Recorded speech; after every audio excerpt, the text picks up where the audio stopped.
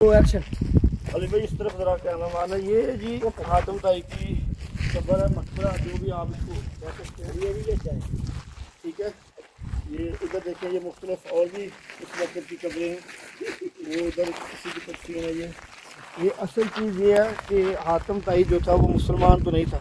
ये इस्लाम से कुछ अर्सा कबल जो थे, उनको जो ना वो ज़ाहरी दुनिया से वो पर्दा जो भी है, वो फरमा गए थे।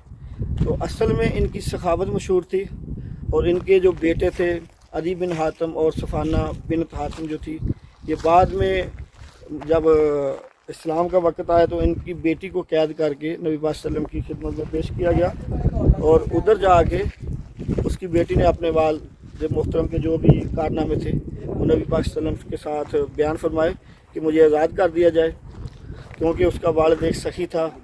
लोगों को मसलन सखावत के, सखावत की वजह से बहुत मशहूर थे। तो लिहाजा उनको आज़ाद किया गया। मसल वो गरीबों से मोहब्बत करते थे, जो कैदी थे, उनके साथ अच्छा सलूक करते थे। इस वजह से नबी पाक सल्लल्लाहु अलैहि वसल्लम ने उनकी ज़ाहरी जो सफ़ात थी, वो देखी और आप सल्लल्लाहु अलैहि वसल्लम ने उसकी जो लड़की थी सफाना बिन हातम, उसको आज़ाद करने का हुक्म दिया। और आप सल्लल्लाहु अलैहि वसल्लम ने फरमाया कि आपके वालद के अंदर जो भी किसी एक मोमन के अंदर सिफात होती हैं, वो सब मौजूद थी, माशाल्लाह। अगर वो इस्लाम कबूल करते, हम उसके लिए बख्शिश की दुआ फरमाते। लिहाजा वो इस्लाम से पहले ज़ाहर वफात पा गए थे।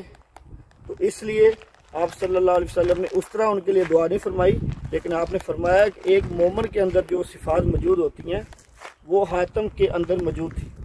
इसलिए सब भाई जितने भी मुसलमान हमारे हैं, उसको, उनको ये अपना देखना चाहिए, अपना मुहासबा करना चाहिए कि हातम इस्लाम कबूल ना करने के बावजूद नबी वसल्लम ने उनका ज़िक्र फरमाया। तो कोशिश करनी चाहिए कि ये सब सिफात इंसान एक मुसलमान के अंदर